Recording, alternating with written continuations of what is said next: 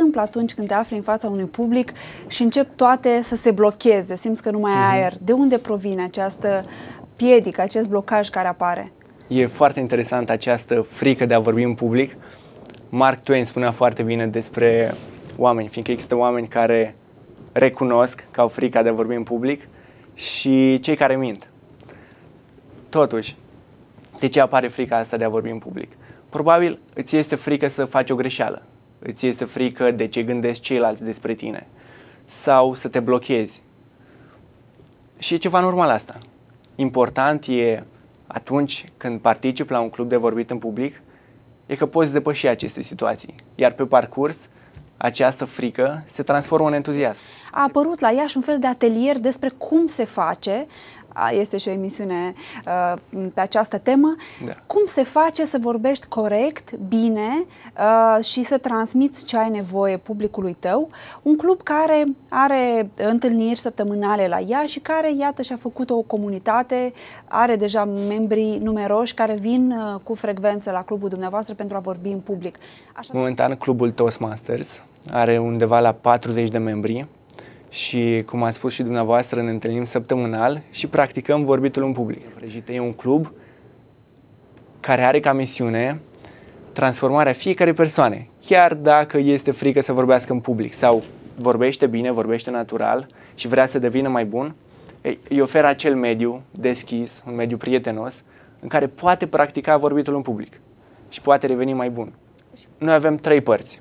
Prima parte e cea a discursurilor pregătite, apoi urmează secțiunea de discursuri improvizate și apoi evaluarea, în care dăm feedback la tot ce s-a întâmplat acolo. Iar legat de discursurile pregătite, într-adevăr, sunt 10 teme. Și în funcție de cum simți tu, parcurgi uh, aceste misiuni. Spre exemplu, prima misiune e foarte simplă, trebuie să spargi gheața. Important e să fii acolo în față, să vezi publicul, să vezi cum te simți tu. Orice s-ar întâmpla, vei primi aplauze.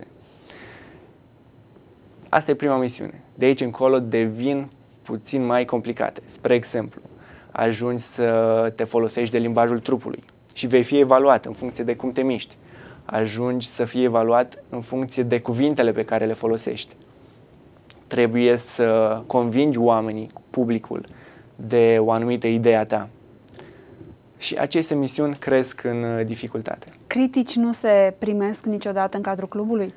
Noi îl numim, acea critică o numim uh, feedback, evaluare.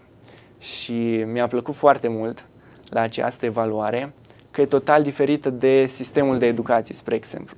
Acolo ți se subliniază toate um, greșelile. Aici facem total diferit. Noi subliniem acele lucruri pe care le-ai făcut bine. Spre exemplu, uh, dacă stai cu mâinile deschise, spune mai făcut asta foarte bine, fă în continuare așa, iar dacă faci o greșeală, noi numim lucru de îmbunătățit, nu o să spunem aici ai greșit, ci uite, dacă stai, spre exemplu, cu mâinile încrucișate, vei crea o barieră între tine și public.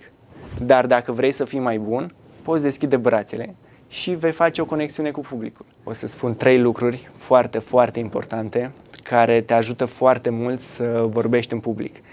Primul lucru e să cunoști subiectul despre care vrei să vorbești. Deci o pregătire anterioară pe temă. Da, atunci când cunoști subiectul, cumva ești entuziasmat și transmiți mai departe acel entuziasm.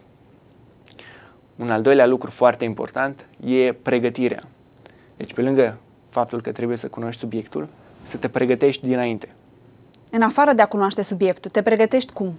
Te pregătești uh, gândindu-te la cum o să fii în față. Îți uh, faci o listă cu, puncte, cu anumite idei pe care vrei să le atingi în timpul discursului. Și asta te ajută foarte mult atunci când ești pregătit. Și al treilea lucru, și cred că ăsta e cel mai important, o să vi-l spun dacă veniți la întâlnirile noastre.